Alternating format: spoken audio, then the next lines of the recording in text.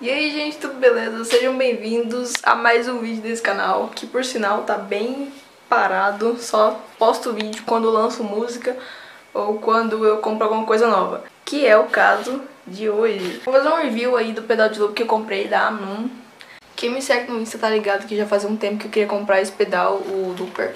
E aí rolou uma coisa que me chamaram pra tocar lá na, na faculdade que eu estudo. É, e aí eu falei, mano, já que eu vou ter que cantar sozinha, só eu e o acompanhamento da guitarra, vou meter um loop lá porque vai ficar muito massa.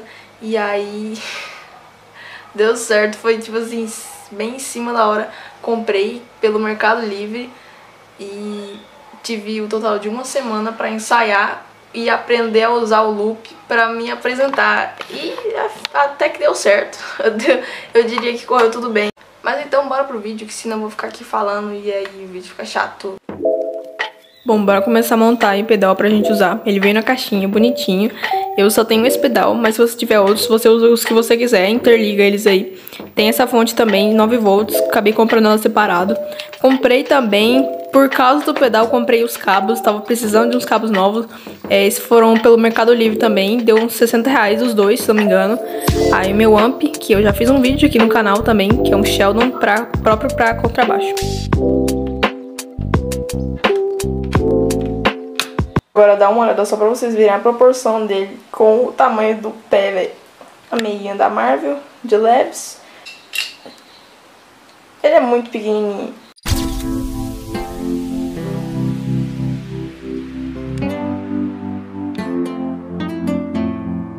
Tutorial de como usar o Looper by Ana Olive. Pera aí, deixa eu gravar o chão aqui. Primeiramente, a luzinha dele, você tem que saber interpretar a cor da luz. Ele tá desligado, significa que não tem nada. Tá desligado. Aí você aperta, ele fica vermelho. É porque ele tá gravando. Tá vendo? Dá pra ver aqui, ó, que ele tá vermelho. Tá gravando. Se você apertar de novo, ele parou de gravar e o loop tá rodando. Você vai ver que ele dá uma piscadinha na luz, ó. É quando o loop acabou e começou de novo. Tá vendo? Piscou. Ó, vai piscar de novo. Você pode gravar um loop em cima do outro? Claro. Pelo que eu vi, é, eu acho que ele tinha, ele tinha 10 minutos de gravação de loop. O que, tipo assim, é muita coisa, sabe? Tipo, são 10 minutos de loop. Vou gravar um, um loop aqui, só, só como exemplo mesmo. Ó.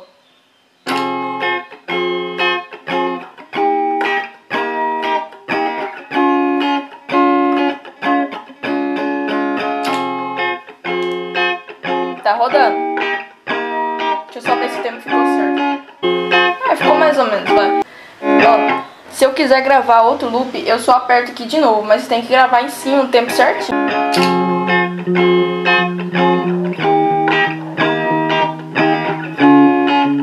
Viu? Gravei outro loop em cima. Esse é o básico, que é gravar o loop, ok? Então, é, agora pra desligar. Você clicar duas vezes seguidas nele, ele vai ficar piscando aqui, ó. É porque ele tá pausado, entendeu? Ele pausou. Clicou de novo, ele volta, entendeu? Pausou, voltou. Pausou, voltou. Até aí, tudo bem, certo? Se você quiser desligar, você clica e para.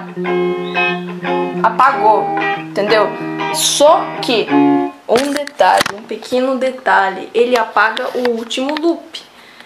Quando eu usei ele pela primeira vez, aí eu fiz um negócio e ele ficava tocando, não queria desligar. E aí o pessoal fala, pisa e aperta. Só que quando eu pisava e aperta, e tinha três loops lá, ele só apagava o último. Tem dois loops rodando aqui, certo? O jeito que eu arrumei, você vai então pisar duas vezes e segurar.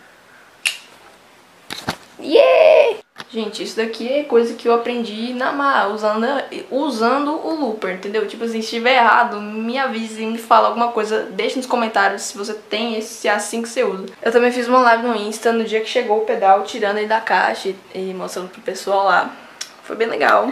Inclusive, se você não me segue no Insta, já vou deixar aqui pra você seguir, que eu posto mais lá do que aqui, então...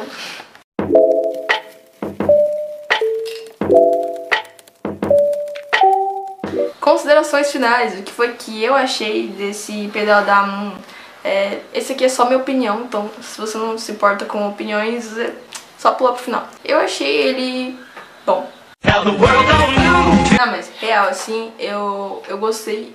Tipo assim, eu não tenho que reclamar do, do pedal, saca?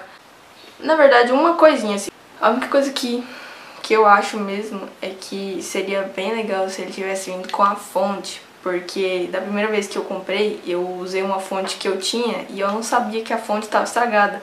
E aí eu fui colocar, o negócio não ligou, fiquei desesperada, achei que, que, tava, que eu tinha queimado o pedal ou que o pedal não veio sem funcionar. Eu acabei comprando essa outra fonte aqui, que também não é uma coisa muito cara. É, enfim, pra quem tem pedal, pedaleira, geral, a pessoa já, no geral, o pessoal já, já tem as fontes. Mas é isso.